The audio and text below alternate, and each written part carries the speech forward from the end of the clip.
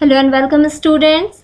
Today we will again continuing with class 9 geography chapter 2. Previously we have already discussed about how the Himalayan mountain and northern plain of India formed which is the basic information about these two physiographical division of India. In today's session of this class we have we will discuss about Himalayan mountain range at present. So, let's begin it with Himalayas. So, the Himalayas are geologically young and structurally fold mountain अब ऐसा क्यों कहा गया कि हिमालय जो है वो geologically young है तो अगर देखा जाए इसके फॉर्मेशन टाइम को तो इसमें काफ़ी ज़्यादा वक्त नहीं गुजरा है सो तो ये काफ़ी नए माउंटेन है and comparison to the other structure other physiographical division of the earth इनकी जो एज है वो काफ़ी कम है, ये काफ़ी नए स्ट्रक्चर है that's why it known as the geologically young and structurally fold mountain कहने का मतलब क्या हुआ? जब इंडो ऑस्ट्रेलियन प्लेट यूरेशियाई प्लेट से टकराई थी तो क्या हुआ?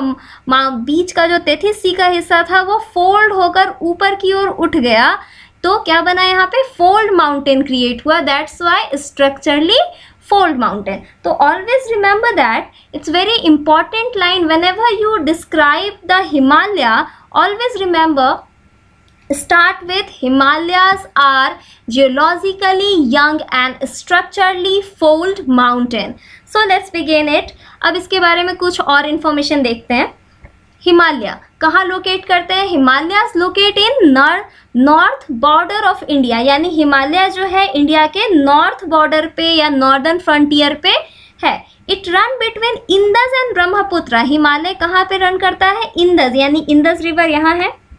This is Indus river and there is a Brahmaputra river इनके बीच में है सिचुएटेड इनके बीच में सिचुएटेड है। And Himalaya represent the loftiest loftiest one of the most rugged mountain barrier of the world which cover 2400 kilometer of distance with its width varies from 400 kilometer in Kashmir and Kashmir to 150 kilometre in Arunachal Pradesh.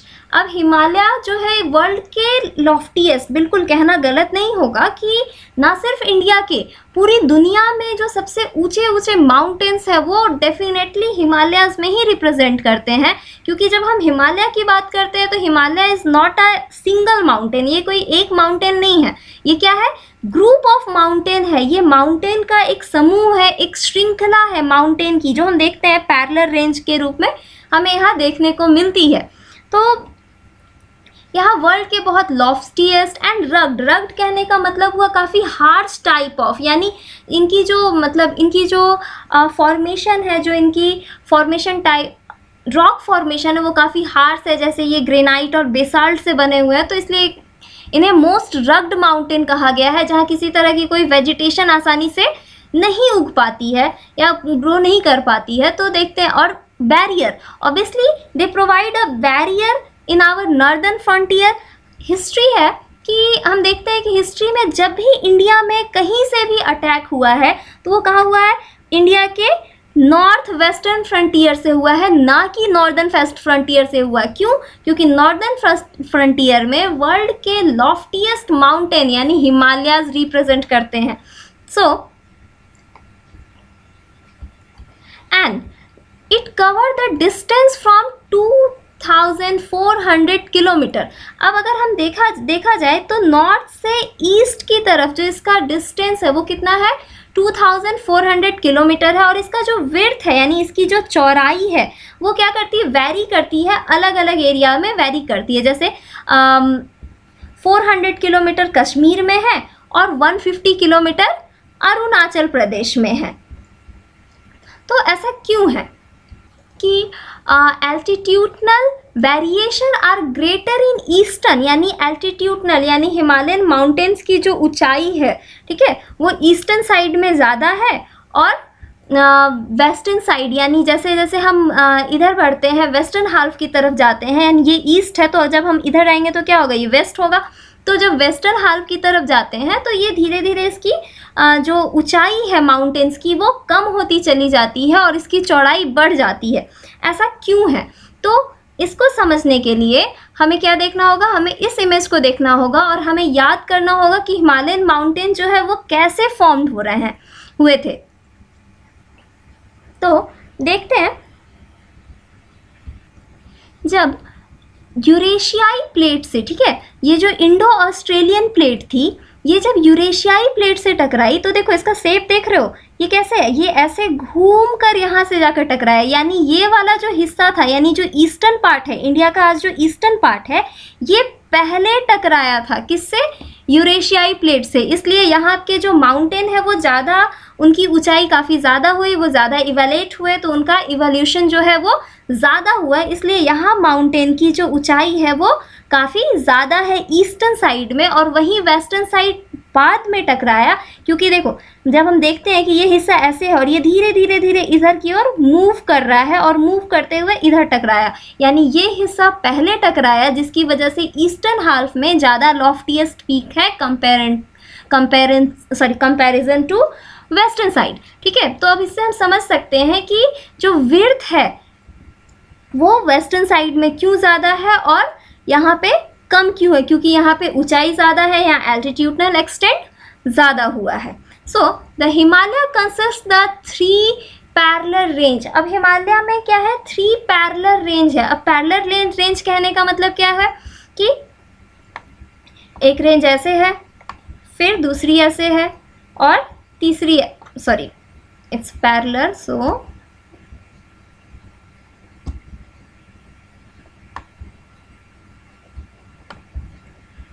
तो अगर हम parallel की बात कर रहे हैं then wait minute तो पहली ऐसे है, दूसरी और तीसरी। तो इस तरह से हिमालय क्या है? एक, इसका एक पैरलर रेंज है और इन पैरलर रेंज को तीन अलग अलग नामों से जाना जाता है, जो कि अब हम लोग देखते हैं। Himalaya consist three parallel range.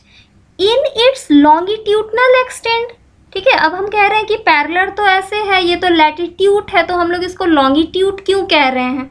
ठीक है क्योंकि हम जानते हैं कि जो आ, जो लेटा है वो लैटिट्यूड है तो मतलब ये लेटा हुआ लाइन है ये लेटी हुई लाइन है तो ये तो लैटिट्यूड्स है। तो इसको हम लॉन्गिट्यूडनल एक्सटेंट क्यों कह रहे हैं? ठीक है अब इसको लॉन्गिट्यूडनल एक्सटेंट इसलिए कह रहे हैं अब इसे हम लॉन्गिट्यूडनल इसलिए कह रहे हैं क्योंकि जब हम ऊपर से नीचे की ओर जाएँगे, यानी जब हम नॉर्थ से साउथ की तरफ़ जाएँगे, जैसे हम देख रहे हैं, ये ये लाइन ये क्या कहलाती है? लैटिट्यूड और जब ऊपर से नीचे की ओर, यानी नॉर्थ से साउथ की तरफ़ आते हैं तो वो क्या कहलाता है? वो कहलाता है लॉन्गिट्यूड तो सिमिलरली जब इंडियन मैप में हम देखेंगे कि हम जब नॉर्थ से साउथ की तरफ़ आएँगे, तब हमें यहाँ तीन रेंज मिलती हैं। तो इसलिए इसे north to south three parallel range के रूप में जाना जाता है। दैट्स वाई हमने यहाँ पे क्या कहा? It is a longitudinal extent अब कौन कौन से हैं? The great Himalaya great Himalaya क्योंकि वो ग्रेट है बड़ा है। इनर हिमालय अब इसे इनर हिमालय क्यों कहेंगे? ये भी देखेंगे हम और इसे हिमाद्री कह कह क्यों कहते हैं? ये भी देखेंगे। आ, हिमाचल और मिडिल हिमालय जो बीच का पार्ट है उसे हिमाचल या मिडिल हिमालय कहते हैं और क्यों कहते हैं? ये भी देखते हैं। Shivalik and third last part जो है, वो क्या कहलाता है? शिवालिक तो अब हम एक एक करके इन सब पार्ट्स को, इन सब क्लासिफिकेशन को एक एक करके हम क्या करेंगे? डिस्क्राइब करेंगे। चलो। So let's begin the great Himalaya inner Himalaya और हिमाद्री अब हिमालय के फ़र्स्ट डिवीज़न को ग्रेट क्यों कहते हैं? क्योंकि बड़ा है, सबसे लंबा है, बड़ा है लॉफ्टीएस्ट पीक है, इसलिए इसको ग्रेट कहते हैं। इनर अब इनर हिमालय क्यों कहते हैं? ठीक है? अब अगर हम यहाँ से देखेंगे तो हम क्या कहेंगे? कौन सा हिमालय का पार्ट यानी कौन सा जो पैरलर रेंज है, जैसे ये एक रेंज है, ऊपर का ये एक रेंज है, और फिर नीचे का रेंज है। तो जब पैरल इनर रेंज कौन सा है? हमें लगेगा इनर रेंज कौन सा है? ये रेंज इनर है। लेकिन नहीं, ऐसा नहीं है। अब अगर हम बात कर रहे हैं इनर रेंज की, यानी जब हम इसका फॉर्मेशन को याद करते हैं, फिर से याद करो कि फॉर्मेशन क्या है? यानी ये हिस्सा पहले टकराया था, किससे? यूरेशियाई प्लेट से। तो यानी ये हिस्सा पहले बना होगा, ठीक है? यहाँ पे लॉफ्टियस पीक इसलिए ज़्यादा है। तो ये हिस्सा अगर पहले बना तो that's why it known as the inner Himalaya, ठीक है? एंड हिमाद्री, अब हिमाद्री क्यों कहते हैं इसको? तो हिमाद्री हिमाद्री का मतलब ही है हिम हिम और आद्री, यानी हिम का घर, यानी यानी वो पहाड़, हिम, यानी बर्फ़ आद्री मतलब पहाड़, यानी वो पहाड़ जो बर्फ़ से बने हैं। तो क्या हिमालय बर्फ़ से बने? हैं नहीं, हिमालय बर्फ़ से ढके हुए हैं, ठीक है? ओके अब ये सालों भर बर्फ़ से ढके रहते हैं। जैसा हम लोग हिंदी की आ, कविताओं में पढ़ते हैं कि ओढ़े बर्फ़ की दुशाला ये मतलब क्या हुआ? जो सालों भर बर्फ़ की चादर ओढ़े रहते हैं। कौन ओढ़े रहते हैं? Himalayas. So that's why it known as the Himadri. अब हम देखते हैं कि ये क्या है? इंडिया का नॉर्थ मोस्ट नॉर्थ रेंज है यानी नॉर्दर्न रेंज है and the most continuous range consisting the loftiest peak 6000 metre average height. अब इसकी ये जो एवरेज हाइट है, अब देखते हैं कि जब इस इस पार्टिकुलर पार्ट को देखोगे बुक में अपने मैप में देखते जाओ, कि ये जो पार्ट है, ये क्या है? कंटिन्यूस है। बिल्कुल कंटिन्यू माउंटेन चला आ रहा है। लेकिन वहीं यहाँ पे ब्रेक हो गया, फिर यहाँ ब्रेक है, फिर यहाँ माउंटेन फिर ब्रेक फिर माउंटेन फिर से ब्रेक तो ये जो पार्ट है, ये जो इनर हिमालय या हिमाद्री का जो पार्ट है, ये पूरी तरह से कॉन्टिन्यूस माउंटेन रेंज है। और इसकी जो एवरेज एवरेज हाइट है, ऐसे तो सबसे हाईएस्ट जो है eight thousand eight thousand eight hundred forty eight है और अप्रॉक्स नाइन हंड्रेड है। सॉरी अप्रॉक्स नाइन थाउज़ेंड है बट एवरेज हाइट जो है, वो क्या है? सिक्स थाउज़ेंड मीटर है। And the fold of the great Himalaya are asymmetrical in nature अब ये असिमेट्रिकल है। सेमेट्रिकल और असेमेट्रिकल हम लोग प्रीवियस क्लासेस में ऑलरेडी पढ़े हैं। तो जब हम देखते हैं कि ये एक हिमालयन माउंटेन है, इसको इमेज से समझने की कोशिश करते हैं। पर जब इसको हम हाफ़ डिवाइड करेंगे, जैसे हम लोग सिमेट्री में करते हैं मैथ्स में तो क्या होता है? ये पार्ट ज़्यादा बड़ा दिख रहा है और ये वाला जो पार्ट है, वो छोटा दिख रहा है। यानी ये इक्वल डिवाइड नहीं हो सकते हैं। That's why it known as the the fold of the great Himalayas are asymmetrical in nature clear so the core of uh, great himalayas is completely made by the granite and it's perennially snow snow bounded तो हम देखते हैं कि जो core है अब हम यहाँ में याद करना होगा फिर से इसके फॉर्मेशन को कि ये कैसे बना था जब यूरे इंडो ऑस्ट्रेलियन प्लेट किस प्लेट से टकराई? यूरेशियाई प्लेट से टकराई। तो जब इसका फॉर्मेशन हुआ तो ऊपर क्या था तेथीस सी था तो ऊपरी पार्ट जो है, वो तो सेडिमेंट्स है। लेकिन जो इनर पार्ट है, क्योंकि यूरेशियाई प्लेट और इंडो ऑस्ट्रेलियन दोनों ही कॉन्टिनेंटल प्लेट थी, जो कि बेसिकली ग्रेनाइट से बनी थी, इसलिए हिमालय का जो कोर है, वो भी किससे बना है? ग्रेनाइट से बना हुआ है। And it's perennially snow bounded यानी ये सालों भर क्या है, इतने लॉफ्टीएस्ट है कि सालों भर बर्फ़ से ढके रहते हैं। अब ये बर्फ़ से क्यों ढके रहते हैं? कोई जाकर वहाँ बर्फ़ डाल देता है या बर्फ़ लगाने की मशीन लगा दी है? नहीं, ऐसा नहीं है। क्या है कि जैसे जैसे हम जानते हैं कि हमने ऑलरेडी प्रीवियस क्लासेस में पढ़ा है कि जैसे जैसे एल्टीट्यूड बढ़ता जाता है वैसे वैसे क्या होता है? टेम्परेचर जैसे जैसे हम एटमोसफेयर में ऊपर जाते हैं टेम्परेचर घटता चला जाता है और every thirty two every thirty two meters पे क्या होता है? एक डिग्री टेम्परेचर घट जाता है। तो और हिमालयन माउंटेन की ऊंचाई क्या है?